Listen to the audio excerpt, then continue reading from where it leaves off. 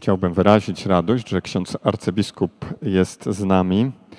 Niektóre rzeczy może często wydają się oczywiste, ale jeżeli są dobre, to myślę, że głośno mówimy. Dobrze, jeżeli mówimy to na głos, bo dobrem warto się dzielić.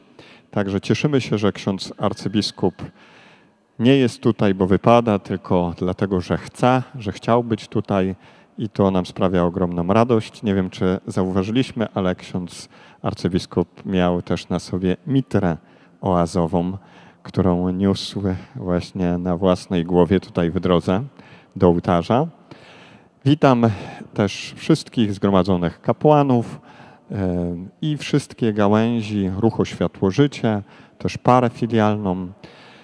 I prosimy księdza arcybiskupa e, o modlitwę za nas, ale też my korzystając z tego, że ksiądz arcybiskup jest pośród nas, choć pamiętamy pewnie e, w ciągu roku o tej modlitwie, to właśnie zechciejmy też tę Eucharystię, w tej Eucharystii w sposób szczególny otoczyć księdza arcybiskupa, wszystkie jego sprawy, całą naszą diecezję, także naszą modlitwą.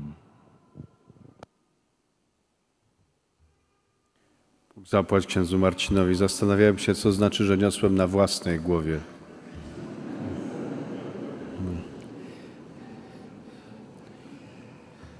Ale Kościół jest zawsze na etapie szukania głów pod mitrę, więc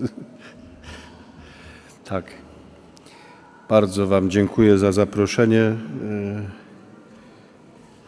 Jest tak, jak powiedział ksiądz moderator, to zaproszenie zawsze przyjmuję z potrzeby serca, nie z obowiązku. I też y,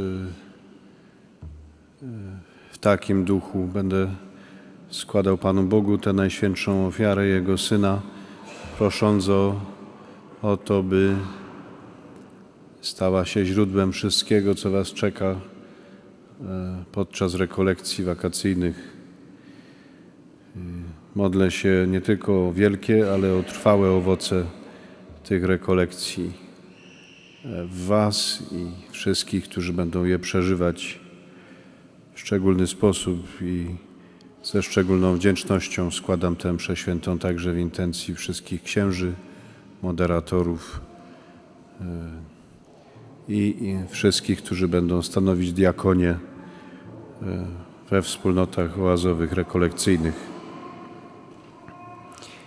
Byśmy mogli tę Eucharystię godnie przeżyć, y, przeprośmy najpierw Pana Boga za nasze grzechy.